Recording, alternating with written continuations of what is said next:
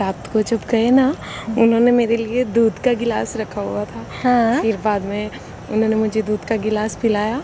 फिर बाद में वो आए मेरे पास मुझे कभी यहाँ किस किया। यहाँ पे किया। और भाइयों दूध पीने से लंड बड़े जो फाड़ दे भोसड़ी। लिप किस की फिर मुझे हगी कर लिया ना। फिर मुझे मेरे टम पेट पे किस की बहुत फील आ रहा था। बहुत ज़्यादा फील आ रहा था। सेक्सी वाली है सेक्स- अरे सुनो तो फिर बाद में क्या हुआ? धीरे धीरे करके मेरी साड़ी उतारी फिर फिर ऐसे ऐसे करके उन्होंने मेरे बैग किस की बैग में किस की है? फिर क्या बात है? मतलब पूरे बॉडी पार्ट्स पे उन्होंने मुझे किस की फिर बाद में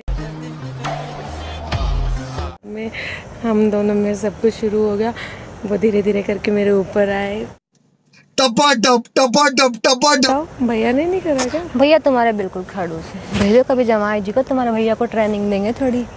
अरे उनसे तो वो जो करते हैं ना भाभी जो फील मिलता है ना बहुत अच्छा लगता है बहुत।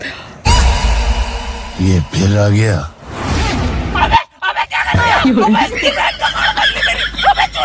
मैं कहूँ रात में इतना मज़ा आया। चलो रात में एक दो बार हुआ फिर बाद में सुबह भी उठने से पहले मेरे बहुत अच्छा किया। क्या बात। कुंवारी लड़की ना चोदी है। चौथ के करे घमंड। चुदी चुदाई चोदी जो लपक के रेवे लंड। सच्ची यार तुम्हारे भैया को सच कुछ सिखाओ ना।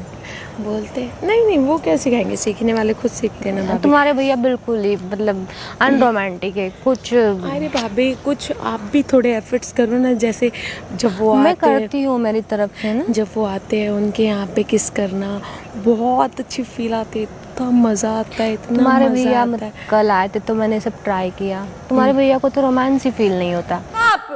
तेरे के साथ गांडू भोजरी के फ़ोन रख।